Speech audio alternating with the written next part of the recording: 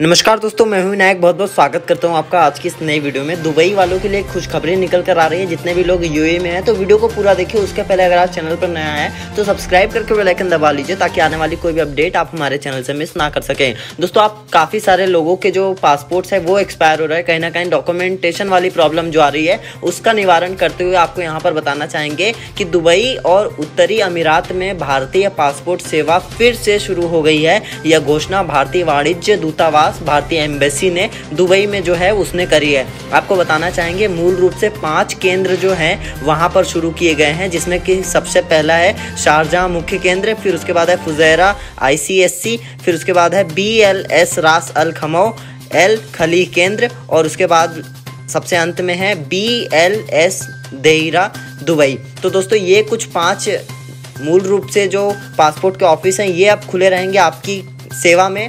तो अगर आप लोगों का एक्सपायर हो रहा है या पासपोर्ट एक्सपायर हो रहा है तो आप यहाँ पर जाकर रिन्यू करवा सकते हैं। आपको बताना चाहेंगे कि दूतावास ने कहा है कि केवल पासपोर्ट जो पहले से ही समाप्त हो चुके हैं या 31 मई 2020 तक समाप्त हो रहे हैं, इन केंद्रों द्वारा नवीनीकरण इनके लिए स्वीकार किए जाएँगे। यानी अगर आपका पासपोर्ट समाप्त हो गया है, या तो 31 मई 2020 को समाप्त होने वाला है, तभी यहाँ पर इसका रिन्यूअल हो पाएगा। आपको बता दें कि आवेदन के लिए आपको पहले अपॉइंटमेंट बुक करना होगा, उसके बाद ही यहाँ पर आप जाएँगे। यहाँ पर सोशल डिस्टेंसिंग का पूरा ध्यान रखा जाएगा। साथ में जितने भी सेफ्टी मेजर्स होंगे, वो सभी लिए जाएँगे। तो दोस्तों, ये छोटी सी अपडेट थी। कैसे लगे आपको कमेंट करके बताइए। अगर आपका कोई भी सवाल, सुझाव या सजेशन है तो आप हमें बेशक कमेंट सेक्शन में दे सकते हैं। सोर्स का लिंक हमने डिस्क्रिप्शन में दे रखा है तो आप वेबसाइट पर जाके भी चेक कर सकते हैं। तो ये छोटी सी अपडेट कैसे लगी कमेंट करके बताइए। मैं हूँ आपका दोस्त विनायक। आप देख रहे थे इंडियन गुरु मिलता हूँ नेक्स्ट वाली वीडियो में। टिल दिन जय हिंद, वंदे मातरम। ध्यान रखिए अपना और अपने परिवार का। Bye.